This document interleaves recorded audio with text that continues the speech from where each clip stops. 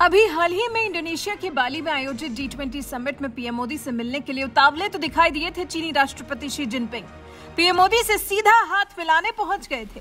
PM Modi ने भी दिल खोलकर स्वागत किया था।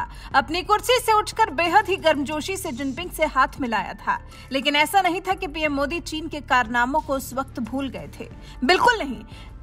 पीएम मोदी चीन को और चीनी राष्ट्रपति को बहुत अच्छी तरह परख चुके हैं। वो भी जानते हैं कि ये दोगला चीन है, जिस पर कतई विश्वास नहीं किया जा सकता, जिसे कभी दोस्त नहीं समझा जा सकता। और देखिए, भारत और भारत के प्रधानमंत्री नरेंद्र मोदी की उम्मीद के मुताबिक शुरू हो चुकी है चीन की नापाक हरकतें।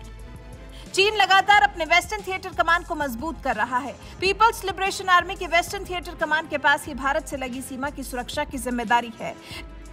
चीन में बीसवीं पार्टी कांग्रेस से एक महीने पहले चीन ने तीन संयुक्त सशस्त्र ब्रिगेड को पूर्व और दक्षिण से एलएसी पर पश्चिम थिएटर कमान पर बुलाया था और अब भारत के लिए एक बड़ी चिंता साबित हो सकती है।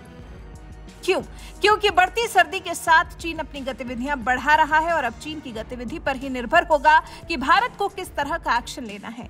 भयानक सर्दी में भारतीय सेना की स्थिति चीन की स्थिति पर निर्भर करेगी। भारतीय सेना देखेगी कि बढ़ती सर्दी के साथ चीनी सेना अपने ठिकानों पर ही टिकी रहती है या कुछ कदम पीछे खींच लेती है। मीडिया रिपोर्ट्स की माने तो पीएलए ने एक संयुक्त सशस्त्र ब्रिगेड को चीन भूटान सीमा के पास सिलीगुड़ी कॉरिडोर के पास रिज़र्व के रूप में तैनात किया हुआ है। वहीं दो और पीएलए ब्रिगेड, अरुणाचल प्रदेश में तैनात है। इन तीनों ब्रिगेड को पीएलए के पूर्वी और दक्षिणी थिएटर कमान से वेस्टर्न थिएटर कमान में शामिल किया गया था। विदेश मंत्री डॉक्टर एस जयशंकर इस बात को एक बार नहीं, बल्कि कई बार कह चुके हैं कि एलएसी पर शांति और स्थिरता द्विपक्षीय संबंधों को बहाल करने की एकमात्र कुंजी है। लेकिन फ़िलहाल चीन की तरफ़ से देखकर ऐसा लगता ही नहीं कि चीन बातचीत करके मामला सुलझाने के जरा सी भी मूड में है।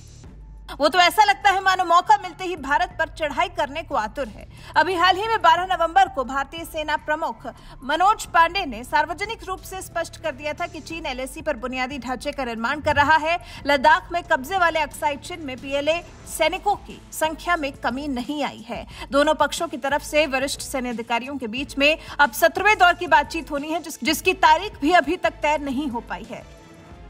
मतलब सोचिए, चीन के साथ 16 दौर की बातचीत असफल रही है। उसके बाद भी अब सत्रहवें दौर की बातचीत के लिए उम्मीद लगाए बैठे हैं। बस इसीलिए क्योंकि भारत शांति चाहता है, भारत चैन से सुखमय होकर रहना चाहता है। लेकिन अगर चीन ऐसा नहीं चाहता तो फिर भारत को निपटना भी अच्छी तरह आता है। चीन से निपटने की भारत की पूरी तैयारी। भारत ने पेंगोंग झील में भी नए लैंडिंग क्राफ्ट और गश्ती नौकाएँ तैनात की हैं। 135 किलोमीटर लंबी पेंगोंग झील, जिसका एक बड़ा हिस्सा तिब्बत में है, दुनिया की सबसे ऊँची खारे पानी की झील है और लेह से चौवन किलोमीटर दक्षिण पूर्व में स्थित है।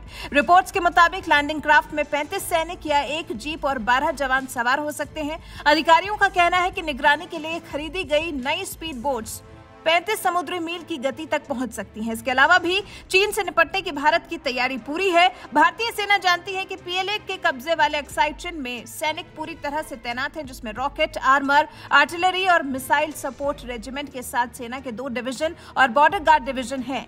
भारतीय सेना भी पूर्वी लद्दाख में कवच और सहायक तत्वों के साथ बड़ी संख्या में तैनात है। एक अधिकारी का कहना है कि होतान, कारगर, लहसा नियंगची हवाई अड्डों पर, लड़ाकू विमानों के अलावा गारगुंसा हवाई अड्डे पर भी पीएलए वायुसेना स्टैंड बाय पर है।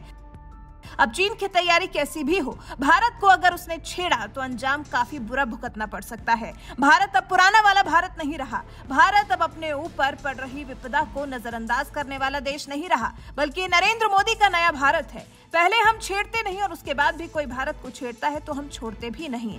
ये है नए और मज़बूत भारत की पहचान। वैसे आप चीनी गतिविधियों को लेकर क्या कहना चाहते हैं? चीन जिस तरह से पीएलए पर तैयारी कर रहा है चीन की इन तैयारियों पर भारतीय सेना कैसे लगाम लगाएगी? उस पर आपका क्या कुछ कहना है? कमेंट कर हमें अपनी राय ज़रूर बताएँ।